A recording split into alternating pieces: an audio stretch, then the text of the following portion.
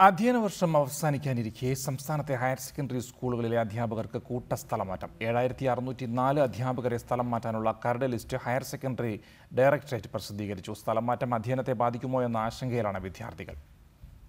സംസ്ഥാനത്തെ higher secondary അധ്യാപകരിൽ പകുതിയോളം പേരെ സ്ഥലം മാറ്റാനുള്ള പരിഷ്കരിച്ച കരട് ലിസ്റ്റാണ് പ്രസിദ്ധീകരിച്ചത്. ഏഴായിരത്തി അറുന്നൂറ്റി നാല് അധ്യാപകരാണ് പട്ടികയിലുള്ളത്.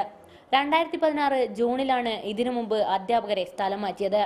എന്നാൽ അത് അധ്യയന വർഷാരംഭത്തിലായതിനാൽ അധ്യയനത്തെ ബാധിച്ചിരുന്നില്ല.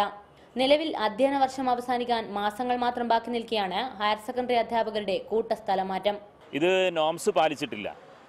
കഴിഞ്ഞ വർഷം സ്ഥലം മാറ്റിയ ആളുകൾ പോലും ഇപ്പോൾ സ്ഥലം മാറ്റിയിരിക്കുന്നു.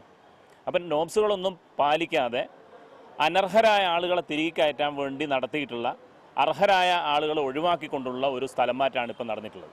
സെപ്റ്റംബർ ഇരുപത്തിയെട്ടിന് താൽക്കാലിക പൊതുസ്ഥലം മാറ്റ പട്ടിക പ്രസിദ്ധീകരിച്ചിരുന്നു. കേരള അഡ്മിനിസ്ട്രേറ്റീവ് ട്രൈബ്യൂണലിന്റെ വിവിധ ഉത്തരവുകൾക്കനുസരിച്ചായിരുന്നു ഈ പട്ടിക. എന്നാൽ ഇതിനെതിരെ വ്യാപകമായ പരാതി ഉയർന്ന സാഹചര്യത്തിലാണ് സ്ഥലം മാറ്റ മാനദണ്ഡങ്ങൾക്കനുസരിച്ച് പരിഷ്കരിച്ച പട്ടിക ഹയർ സെക്കൻഡറി ഡയറക്ടറേറ്റ് പുറത്തിറക്കിയത്. കരട് പട്ടികയിലെ പരാതികൾ പരിഹരിച്ചും അഡ്മിനിസ്ട്രേറ്റീവ് ട്രൈബ്യൂണലിന്റെ ഉത്തരവിനനുസരിച്ചും അന്തിമ പട്ടിക പ്രസിദ്ധീകരിക്കും. ഹയർ സെക്കൻഡറി അധ്യാപകരുടെ സ്ഥലം മാറ്റം അധ്യയനത്തെ ബാധിക്കുമോ എന്ന ആശങ്കയിലാണ് വിദ്യാർത്ഥികളും രക്ഷിതാക്കളും. Lenisha P K reporter Kozhikode.